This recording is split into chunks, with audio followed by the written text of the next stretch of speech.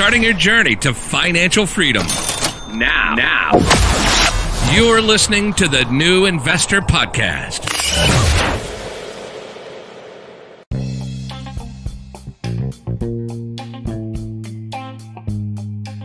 This is the Young Investor for the New Investor Podcast. Another sell off on the markets as China announced another round of tariffs on the US uh, imported goods. The trade tension has escalated a notch, and my holdings have lost almost 3% again. Almost all gains since the 15th of August have been wiped out. In all of this market turmoil, I keep looking at the positive side. It seems the markets have somewhat matured at the thoughts of new tariffs. I remember losing another 50% gains from the current levels today uh, on the 3rd of June, uh, which, um, you know, with the much more similar news. So, as an investor, I invite you to look again. It will serve you to look at the market situation year to date, not just yesterday. So, the NASDAQ composite has been up 20.4% year to date. The S&P 500 has been up 16.6% year to date. The Dow Jones Industrial average is up 12.5%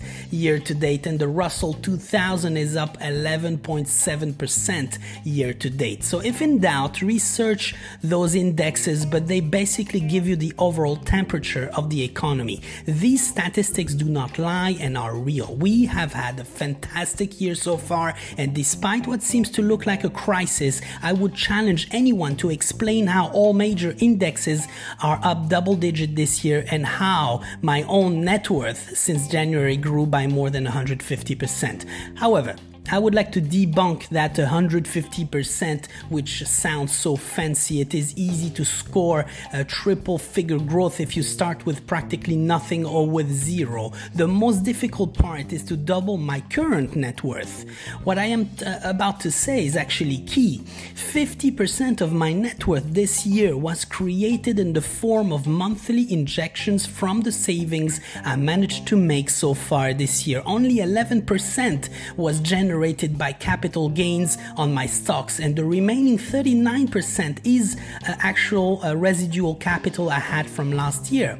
So, this tells me that the most effective way to build wealth and your net worth is through your savings and consistent capital injections on monthly basis or whenever you have a buck to spare, which could which comes down to uh, you looking at how much you actually spend. If your aim is to score such numbers as it appears everyone wants it quick nowadays, you could, but then accept the sacrifices that will come along with such a dream. If you can live and accept to live below your current standards uh, for an extended period of time, then you are on your way to financial freedom. My net worth did not grow for the last few months as I have been investing in my side ventures. No revenue is generated so far.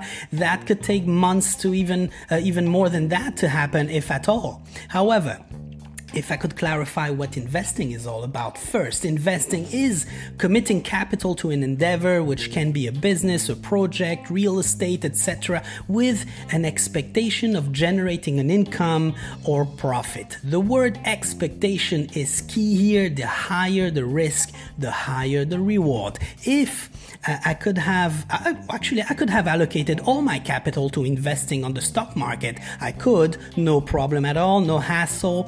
Um, pretty much uh, I pretty much know I will do well in 10 years. Investing is not just this, it is also allocating time and efforts into a long term benefit. With all the endeavor I had committed myself on doing this year, I can safely say that 2019 is the most rewarding year of my life. I have made discoveries about myself that have changed the outcome of my future, literally. I feel stronger, faster, and smarter. I can testify through actual current event and experience, not when I would have made it and had time to polish my story.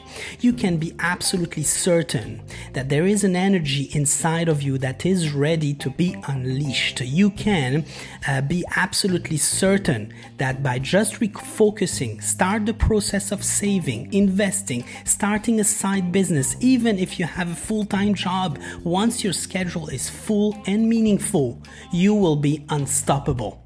Have a fantastic weekend ahead. Be well, everybody.